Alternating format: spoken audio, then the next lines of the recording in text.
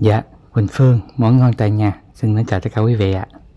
Hôm nay thì Quỳnh Phương có một cái à, món chay ngon muốn chia sẻ cùng quý vị ha. Món này là một món à, chả chiên chay từ khoai môn hay còn gọi là chả khoai môn chiên.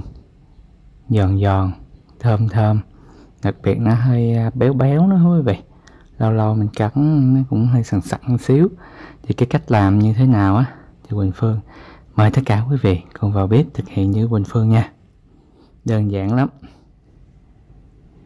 Trước tiên thì Quỳnh Phương bữa nay còn à, 300 gram Cái này là nửa củ à, khoai môn muối quý vị. Quỳnh Phương à, còn nửa củ à, khoảng 300 gram nha.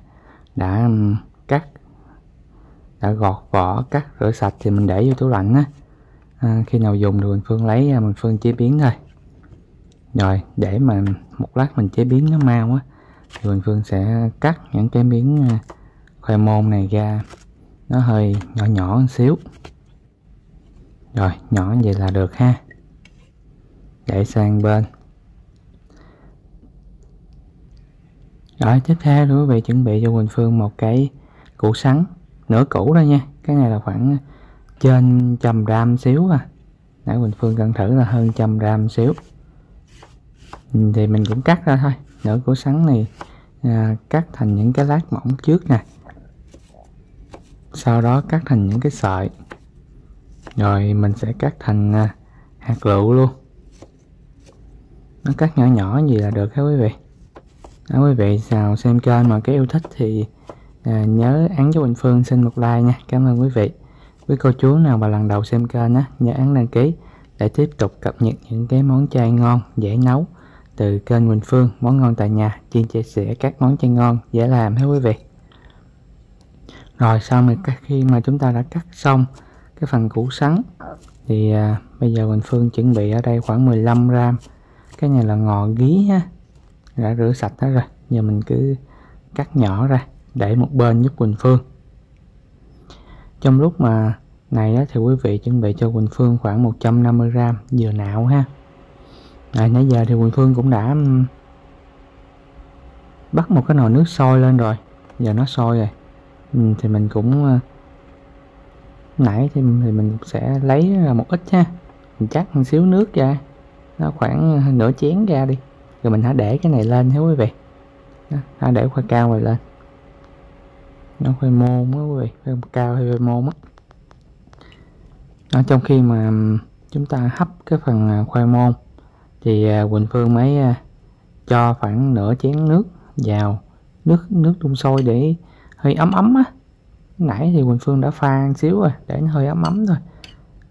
Cho vào đây nửa nửa chén. Để lát mình sẽ lấy cái phần nước cốt của dừa nạo này. Rồi, giờ mình thử ha. Cái phần khoai môn này mình sẽ à, thử nè. Đó, khi nào nó mềm là được nha mình dùng đũa mình xiên thử. Nó mềm hết là được. Rồi vậy là được rồi. Rồi Phương sẽ gấp ra cho ra thao luôn. Mình sử dụng cái cái thao hơi rộng rộng một xíu. Giúp Quỳnh Phương. Rồi cho hết ra thao là mình sẽ bây giờ mình sẽ à, bắt đầu à, tán nhuyễn cái phần à, khoai cao hay là khoai môn nè. Đó mình có thể mình cũng có thể là bỏ vô cái ờ, cối á, mình xay cho nhuyễn cũng được. Hoặc mình dùng mình tán cho nhuyễn như thế này. Nếu các bạn nào có thể dùng bao tay á, thì mình tán thì nó sẽ nhanh nhuyễn hơn. Hoặc dùng cái giá như vậy cũng được. Thì nó hơi lâu hơn xíu thôi. Rồi tán nhuyễn cái phần à, khoai môn rồi. Bây giờ Quỳnh Phương mới cho cái phần à, củ sắn vào nè.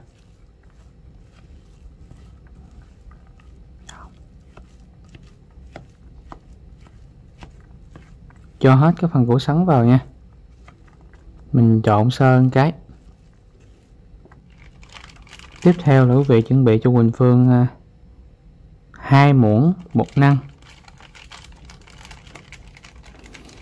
Bột năng nha quý vị. Mình cho vào đây hai muỗng canh. Rồi, bây giờ thì à, tiếp tục trộn đều lên. Bột năng vào thì nó sẽ tạo cái độ kết dính hơn cho cái phần à, chả chai của mình. Chả chiên chay quý vị, từ khoai môn, hay là chả khoai môn chiên, đơn giản, thơm ngon. Nguyên liệu thì cũng không phức tạp lắm. Rồi mình trộn sơn cái nha. Tiếp theo á, thì quý vị sẽ chuẩn bị cho Quỳnh Phương cái nước cốt mà mới nãy mình dắt ra khoảng nửa chén vậy đó. Thì mình cho vào từ từ ha. Nhưng mình cho vào một giá trước nè.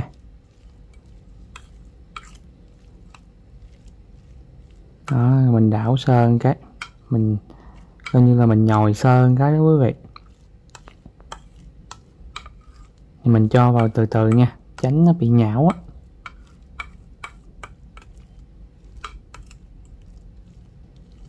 Rồi đó, tiếp theo thì Quỳnh Phương sẽ um, bắt đầu cho thêm một giá nữa. Thì hai giá này là khoảng ờ, nửa chén đó quý vị. Rồi mình cứ đảo đều lên một cái nữa ha. Có nước cốt vô thì nó sẽ có cái vị béo béo rất là ngon củ sắn thì nó hơi giòn giòn á. Mình cắn vô sừng sực, rất là hấp dẫn. Rồi, bây giờ mình sẽ nêm nếm nha. Trước khi nêm nếm thì à, cho cái phần à, ngò đi. Rồi mới cho hơn hơn nửa muỗng à, muối tiêu vô nữa là được đó quý vị. Cho ngò ngò gí mới nãy mình băm ra đó. Rồi, bây giờ thì cứ trộn đều, để đây cho bột nghỉ khoảng 20 phút.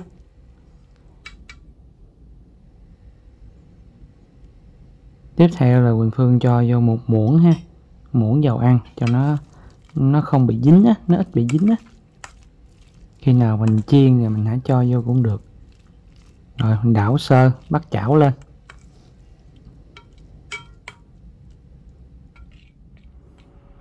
Mình sẽ chiên dầu hơi nhiều nhiều xíu thôi vậy rồi, dầu sôi nè, lên tim nhỏ nhỏ rồi. Bây giờ mình Phương mới cho cái phần à, chả khoai môn hay là chả chiên chay mình vào từ từ để mình chiên. Nếu mình muốn ăn à, ở ngoài giòn giòn ở trong, nó hơi béo béo, bùi bùi thì mình chiên cái cục nó hơi bự bự một xíu. Nó, cái cái miếng chả mình nó hơi to to một xíu dày dày một xíu. Còn muốn giòn thì mình chiên nó hơi mỏng mỏng một xíu. Rồi, nó vàng ươm rồi nè. Hai mặt khá là được ha. Thì à, những cái miếng sau thì mình cũng chiên giống vậy luôn. Đó, giờ mình cho ra dĩa, ăn kèm rau sống với bún. Hay đơn giản là cơm, chấm với à, nước mắm, pha chua ngọt chai rất là thơm ngon và hấp dẫn luôn vậy là cơ bản thì Quỳnh Phương đã chia sẻ xong cho quý vị cái món chả chiên chay hay là chả khoai môn chay chiên giòn, thơm ngon hấp dẫn. Quỳnh Phương xin ờ, kính chúc quý vị ngon miệng. Xin chào và hẹn gặp lại trong những video tiếp theo trên kênh Quỳnh Phương món ngon tại nhà, chuyên chia sẻ các món chay ngon.